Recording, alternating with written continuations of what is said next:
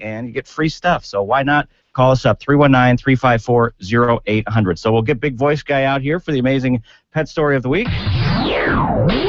It's time for the amazing pet Almost like- story of the week. What's that? It's almost like we have our own little thing that we do on this show, and somebody's watching right now. yeah, It's throwing you off. it's throwing me off. I can still right kick Big Voice Guy here. Big voice guy He's a jerk. is a jerk. He's a jerk. And when he comes in here, he He's a mean. We got to find. we got to find another big voice guy.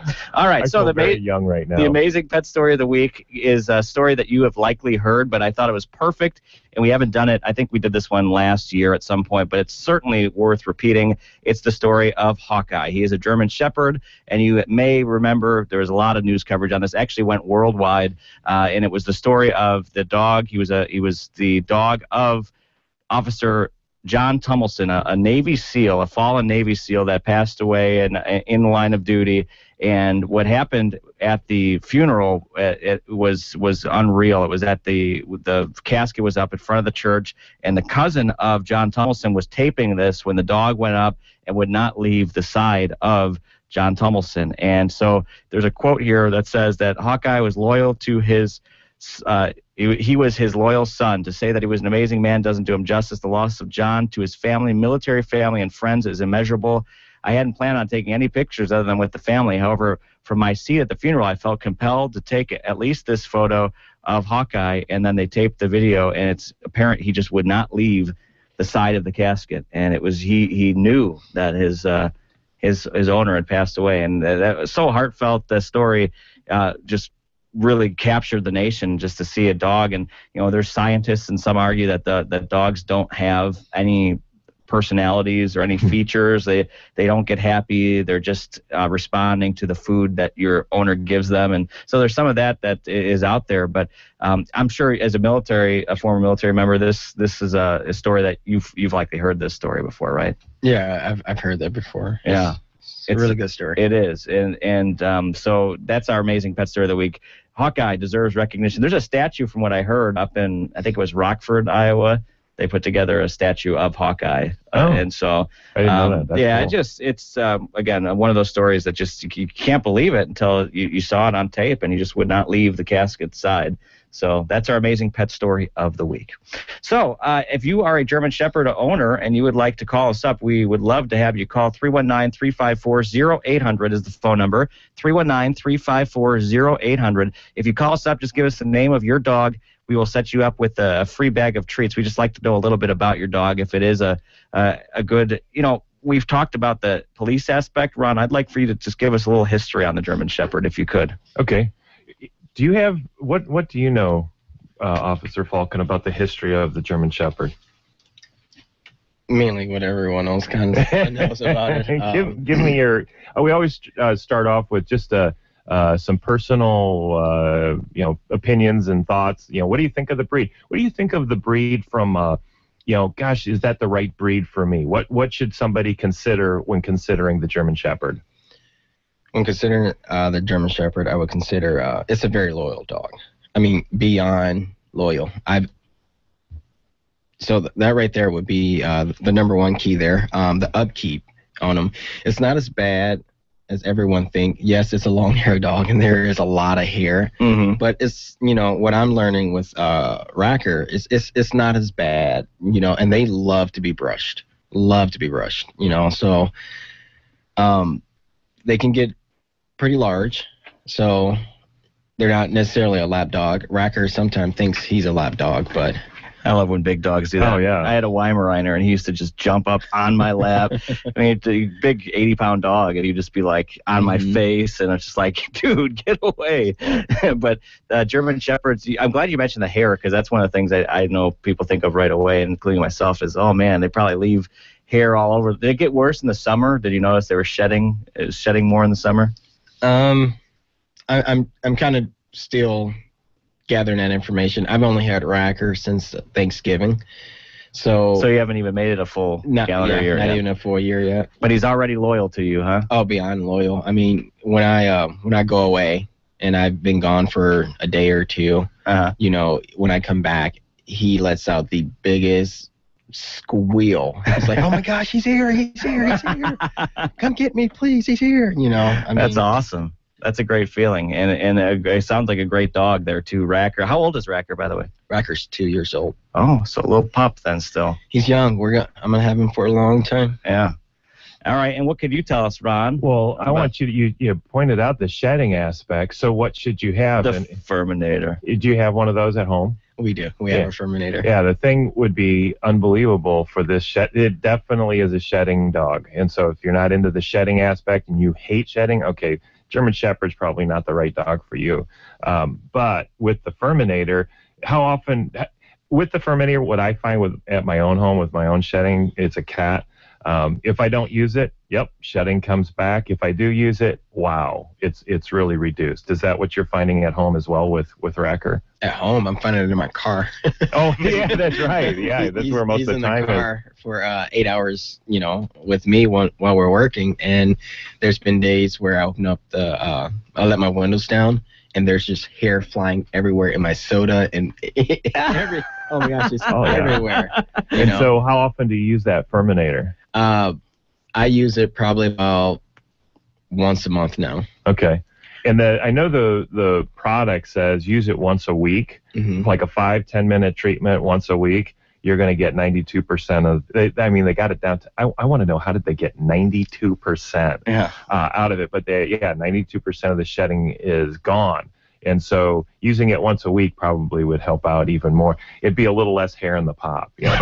I, I, I fixed that you know, with the With the cap. Furminator, and uh, I, I made the mistake once, actually twice, where I would give him a bath, and we're we're kind of strapped for time, so I threw him in the car, He's a little bit wet still. and he's a little wet, Oh, and I yeah. didn't brush all the hair that I just got finished. All know. right. So it it becomes a little uh, hairy. And and what about like day to day? Because I'm thinking to myself, you when you mentioned eight hours with you in the car, do you bring like a water bowl with you, or how do do you feed them when you're on the road with them, or how does that work? Um, I don't feed them. Okay. Um, that's uh, I had another shepherd before him, Uh and she passed because of bloat. Oh. So, I'm- Oh, I did read about that. I wasn't sure what that was talking about. yes, Okay. uh, she passed uh, in training. She was also an uh, Iowa City Police K9, canine, yeah. and um, be- because of that, I'm a little bit more Cautious. cautious Yeah. when Sure, it comes to sure. feeding. So, um, but he has a permanent water bowl in the back of the car, and the dog loves his water. Uh-huh. I mean, if I if I filled it, he'll he'll empty it. Really, You know, really. so I have to kind of monitor. and before- and this summer there's been some hot ones too. Oh, my so gosh. he's got that coat on him. yes, He gets thirsty. I Yes, bet, no and- doubt. He- Is he, is he ball, ball trained where the ball is is his little thing? yes. Okay, so yeah, is so in the back seat does he always have his ball in his mouth? No, not always. Okay. Not always. There's sometimes I, I I'll let him play with it. Like um when um when we found the gun or when we uh did our track for the uh we, we tracked the Gumby's robbery. We had an armed robbery at Gumby's Mhm. and this was our first week on, you know, and I knew what I was doing, but you know, you still always have in the back of your mind like, oh boy, this is my first one, you know. And when we did that, you know, I and they told me, yeah, he they were upstairs. I'm like, Nice. oh man, I Good mean, boy. I, I almost went out and bought them brand new tennis balls. Here, were taking, buddy. You know, I was excited. Here's a lifetime supply, brand new, And new before- one every day. and and again, Ron's going to tell us a little bit about the history, and I'm curious to learn, you know, a little bit more on the background of him. But but uh, this day to day stuff has got me really interested. Um, so I wanted to ask you, you have the okay, so you have the dog with you on, on a daily basis, and you said you do bring him home with you, and so the dog is essentially part of the department. When when when you got involved in the department, did you apply for a canine? position to have a canine dog, or is that assigned to you after you're a member of the police department? How does that work? Um, when I first got there at the police department, there was an opening for the canine, but I only I was still on um, FTO, so I hadn't been there for a year, so I didn't qualify for it anyway. They they kind of want to make sure that you are a reliable person. Therefore, I mean, they don't you don't want to give a dog to a person that's going to leave in a year. Right, right, because you want to build that bond, right? So um, after um, one of our canine officers left the police department and another one was up to retire, um, there was an opening and I applied for it. Okay, so that's how we're. But but if you were to go, not you, but if a, an off a, a officer from another police department wanted to become a canine unit, uh, essentially there has to be an opening at that department, and then you have to be properly trained into that, right? I mean, because you you obviously weren't familiar with what a canine officer does, right? At that point. Yes and no. Okay. Um, I've been training dogs for seven years. So Okay. I, I've done uh, Schutzhund work, and that's the uh, that's that's the protection work, and it's actually started off as a uh, prote- protection trial for the German Shepherds. Okay. You know, so um, it's I, I've been doing that for quite a while. So I kind of knew about the working aspect of the dogs, and I worked with our canine unit that we had before me, and so I kind of knew Sure. enough. But now that I'm in it, I realized I didn't know everything. You, see, Right, you right. seem happy too. You seem like you like what you do. I love So it. That's good. I That's love good. it. All right. Well, Ron, uh, you've got this information, and so tell us a little bit about the history of the German Shepherd. Yeah, the AKC has a lot of what we're talking about here. They really focus in on the fearless and strong and muscular, and they even get into uh, one of the best uh, dogs to get for defending. Um, there's a lot of dogs that will alert you, you know, through a bark or, or whatever, something's going wrong or whatever. But the Mhm. small dogs obviously are not capable of defending. Uh, the German Shepherd they bring out as, wow, this guy's one of the top, and that's why we have it in the the police force and, and all that.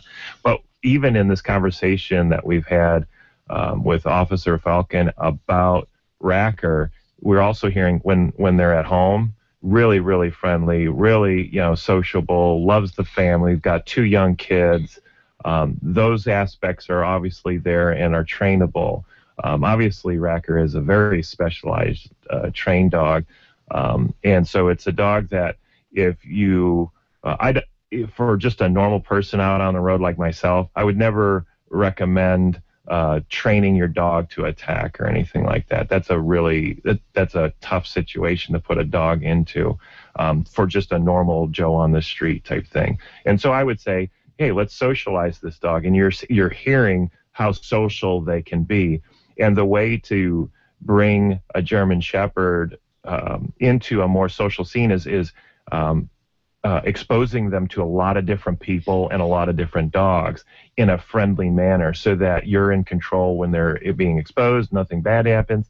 And so now that dog will become very social and won't be on the attack and, and all that kind of stuff in future. So AKC goes into that quite uh, a bit. Um, the dog came into really became a, a breed with the AKC, and a lot of people were getting interested. Just back at what 1899 in Germany is when it really started um, um, becoming very popular. Now I'm going to try to do this. The the person that is is uh, labeled as the person who you know is the founder of the German Shepherd Mhm. is Captain Max von Stephanitz. And I think I got almost correct on that one.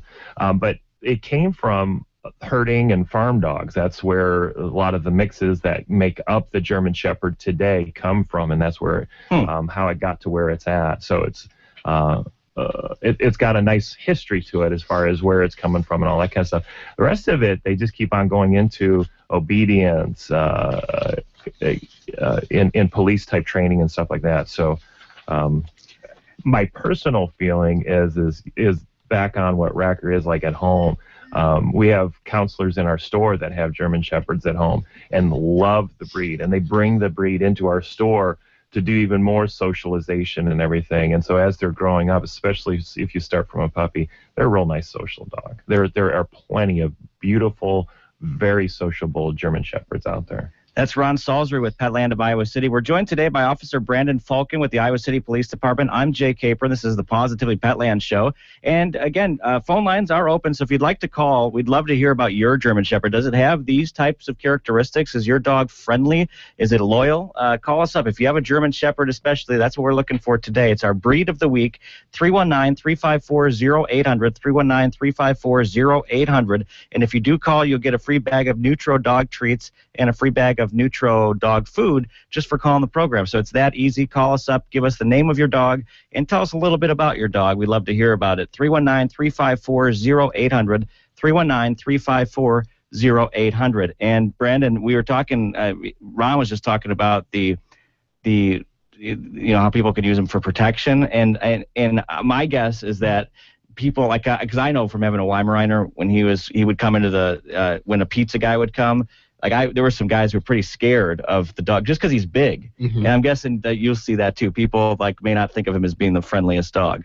N- Uh, well, a lot of people think that because once it comes to my car racker, it sounds like he's, he's a huge wolf. yeah he's in the car. humongous. Yeah. know, but he, he's he's n- he's not a mean dog. yeah that's great. All right let's go to the phone lines. Good morning. You're on the Positive Petland Show. What's your name?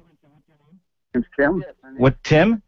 Yes, all right Tim you have a German Shepherd yes. I have a, a year and a half old female red sable German Shepherd. She's uh, 16 generations. Her mother's from Czechoslovakia. Her father's from Germany.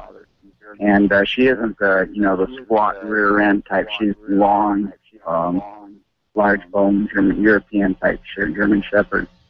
And um, one behavior I have with her, she's very very loyal. You know, no doubt about that. Very athletic. Is um, she's very defensive, and when she's inside the car, you know, sticking her heads out, you know, at the window, people are always asking her, you know, if they can pet her. And um, just as they start to approach her, she'll start going into a bark, you know. Mhm. And, and uh, people kind of understand it as, you know, she's defending the car, but I need to break her at that so she can, uh, you know, accept people more, uh, be more social and something like that. So what, what are your advice there? What, what are your I've got some ideas, but here we've got uh, Brandon on the air here. I would love to hear. Do you have any thoughts on that? As far as your training, I know you've been in training a lot. Is, is it's, he's talking about socializing and preventing that initial bark uh, when something is happening around him. In this case, it's in a car and somebody's approaching. Do you um, do you have any techniques that you would know of? Um, there's a, a couple. Uh, what you, what I would try to do is correct, correct it before it happens. So, in training, we put our dogs in situations where they know they can win. We don't put, we don't train our dog to lose, because if our dog loses in training, then they did not learn anything. right, So, if you were to correct the correct the barking before it happens. So if you were to have people walk up to your car and you already have your dog in a nice calm manner, start talking to the people as they're walking up to the car. Therefore your dog goes, Okay, well, dad thinks he's okay, so I, I should be okay. You know, and if Right. repetition, repetition and you know, that's that's one of the ways I would suggest. So anticipate the behavior and then act on it before beforehand. Absolutely. Yeah, okay, I understand that. Now I had I had her brother uh, from uh, two litters before, and he's now in police service. He was accepted into training, and um, I'm I don't plan on doing any special training with her. She's more of a family pet, but um, um, very athletic. As you know, German Shepherds need their exercise. So besides playing chase the tennis ball about 20 minutes a day and going for walks, do you have any other types of exercises or any type of skill training that you do, you know, can suggest, you know, that would uh, fit her appetite? Um, no, that that pretty that pretty much would do it. Uh, if you have a chuck it, those are great. That's what I was going to bring out is the chuck it. The chuck it uh, allows you to throw the ball a lot farther because it has leverage to it and getting that out there. Do you have one of those? Well, I use uh, these rubber balls about the size of a baseball, and because tennis balls, all she does is destroy those after about five minutes. Like But I Kong. use these, yeah, I use these rubber balls, and then I use a racquetball racket. And Oh, um, oh, whack it. Yeah, there we go. And what I'll do uh, is uh, is we'll do about 10, 15 minutes of nothing but sprint work, where I stand in one spot in the field and hit the ball one way. She goes, runs, and chases it, brings it back, and then just before she gets to me, she drops it, and then I hit the ball the other way, so she continues her sprint. Keep them running. Yeah, and she just goes back and forth, back and forth, back and forth. So I get the sprint, you know, worked out there, and then I let her go chase squirrels. Nice. You know? Well, your name was Tim, right? yeah. All right, Tim, you've got a free bag of treats and a free bag of Nutro dog food too at the uh, Petland of Iowa City store for you in your name, okay? Yeah. Well, I appreciate it. Thank you. All right, thank And you. also, Tim, uh, the if you're looking for a stronger ball, Chuckit and Kong both have a really strong ball uh, that they've rated as four strong chewers. And then if you wanted some more ideas on how to prevent that barking, uh, I can go through those with you at the store. But it's a similar technique as what we what we talked on here, but a little some some different ideas as well. That was great. And see, that was a great. Uh, that's exactly what we're looking for with callers calling the show to bring in personal experience, maybe ask some questions to help out other listeners. And uh, if you have a German Shepherd, you still have time. 319 354 0800. 319 354 0800 is the phone number. And we'd love to hear from you. Tell us the name of your dog and a little bit about your dog. And uh, it's that easy. You get a free bag of Nutro dog treats and Nutro uh, dog food. And, and I actually, that just reminded me, I we were dog sitting for my wife's aunt and uncle, and they had two German Shepherds, and they had Kongs, uh, right? And they had a huge backyard. And we watched them for about four days in a row. And I think by the fourth day, my arm, you know, I was just Yeah. like, I mean, you talk about a dog that doesn't get tired very fast. I mean, I'd be throwing, and after a while, like a, a good 40 minutes or so, I'm like, all right, you guys done yet or what? And they just kept running and running and running. So Yeah. lots of energy in those yeah, dogs. and it, which is a good point. If you're considering the German Shepherd, you just heard the amount of running that you would need to do in order to keep this guy going. They love it. Racker loves running too, right? I assume. I can't get him to stop. Yeah. I can't get him to stop. Yeah, you have a never chuck wear it too.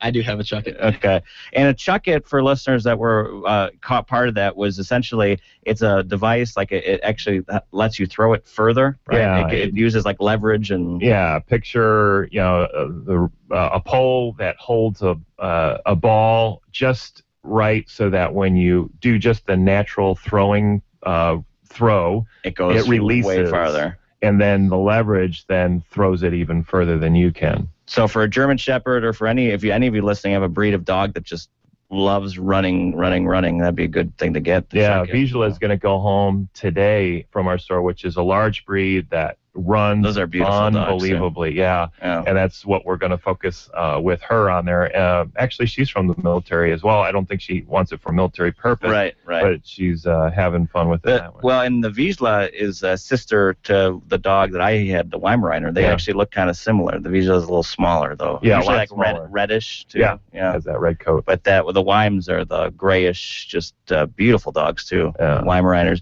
And today the breed is the German Shepherd. We're talking about Racker. We're talking to Officer Brandon Faulkcon from the Iowa City Police Department. He told us earlier in the show, if you're just tuning in, about a story just recently. How how recent was that? That armed robbery that uh, Racker got to got to work on About a week ago. a week ago. So, and, and you've had you've been with uh, Racker for since last Thanksgiving. So it's been not even a full year, um, but some stories to to already notch on the uh, the poll there. Yeah, he's done a, a great job so far, huh? We've had a really good first year. Really good. Really, really good. And you and as you alluded to earlier on the show, you never really know what to expect, and, and when you have a new dog, especially.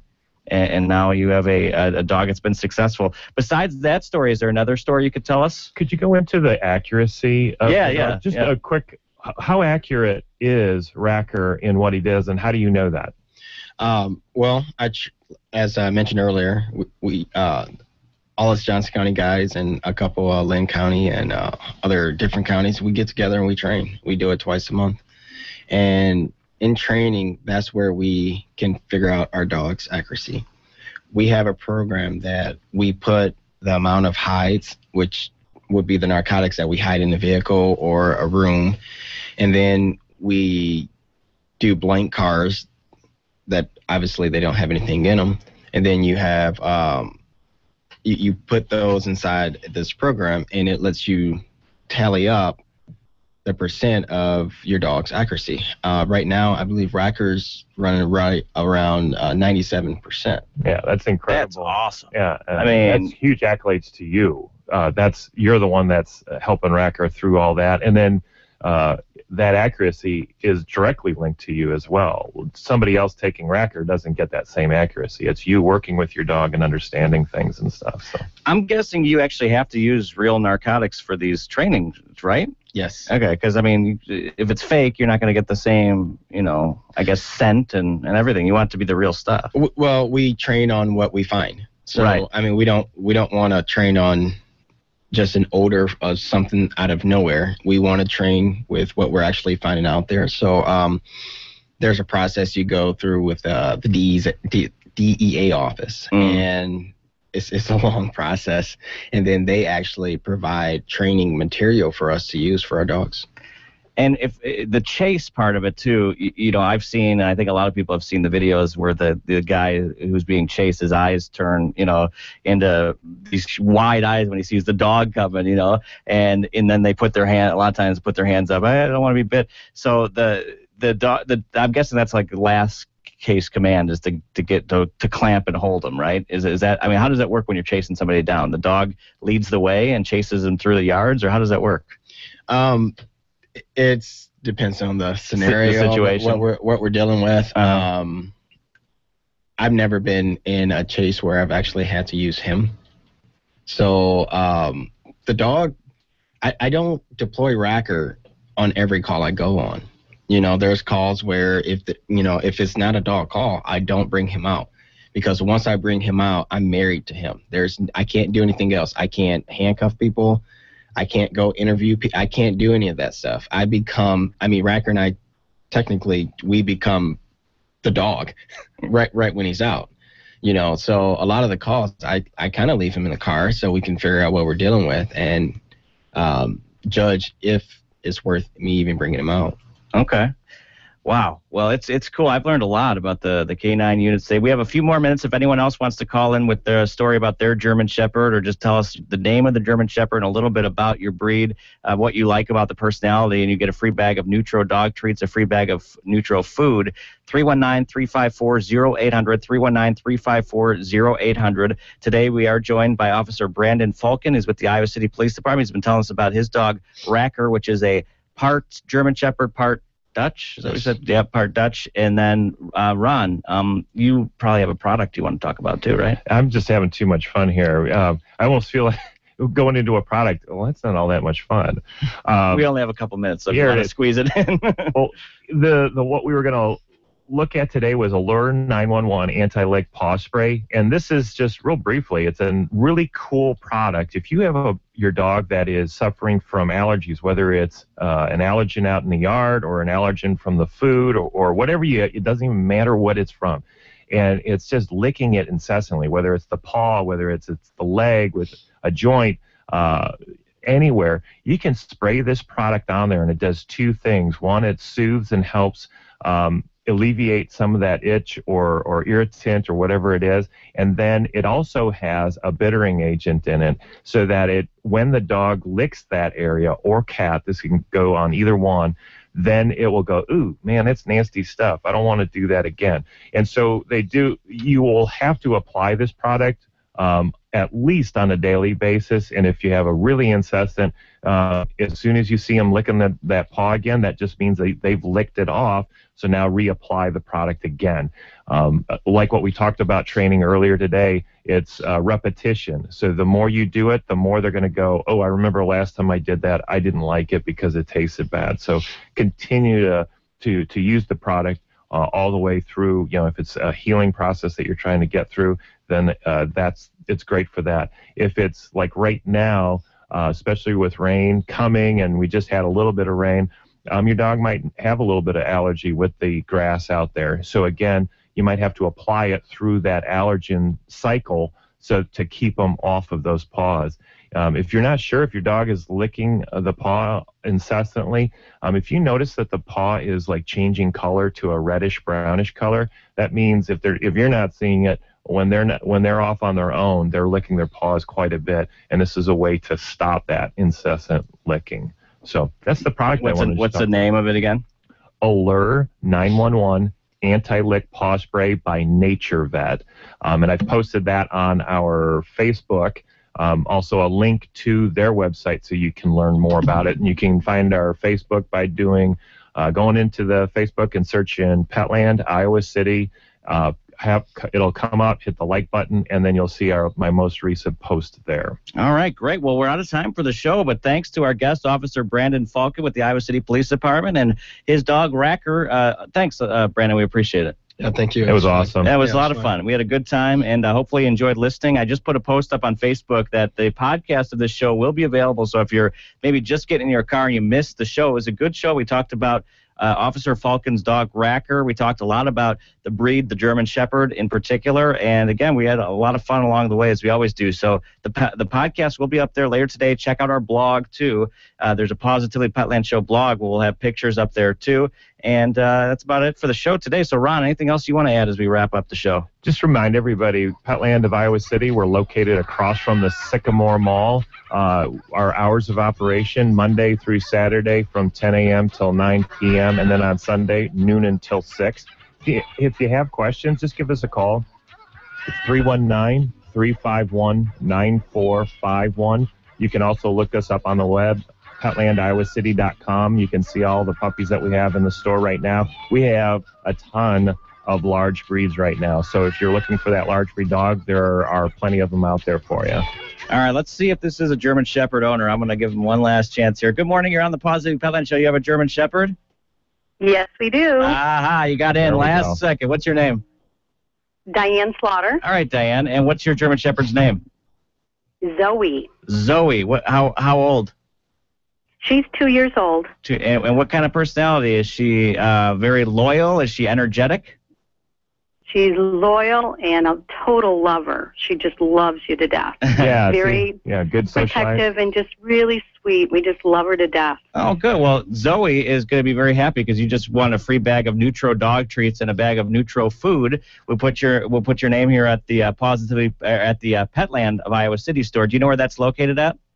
Oh yeah, I was just there, and she has allergies, so I just bought a product that worked fabulous for uh, her. Oh, what did you get? At Petland. Do you remember what the product um, was? The one that they, yeah, I've got it right here. They recommended it because she was itching with allergies and stuff, and so we couldn't figure out what to do. It's called NaturVet Aller 911 Hotspot Foam. Yeah, that's Allergy what you just featured, isn't it? Yeah, there's a they have like four or five different Aller 911s for allergy type symptoms to hit. Like she's got hot. Uh, Diane right here has a Zoe that has hot spots, and it's something that will hit the hot spot and try to soothe it. Great uh, as well. Well, Diane, we're yeah, out. And it actually works. Oh, that's awesome. Well, we're out of time for the show, but you got in just in time. So go pick up your free stuff. And, and hey, thanks for listening to the show. We appreciate it.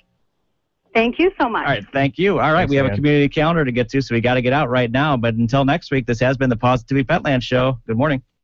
Hello, I'm Audrey Thompson here on AM 800 KXIC. Here's today's community calendar for Thursday, September 19th. The community calendar is brought to you by the Parkview Church. The Apostle Paul tells us that bearing one another's burdens fulfills the law of Christ, and therefore, as Jesus cares for so many, we must care for others. Visit Parkview Church this Sunday as they continue their series on Word, Care,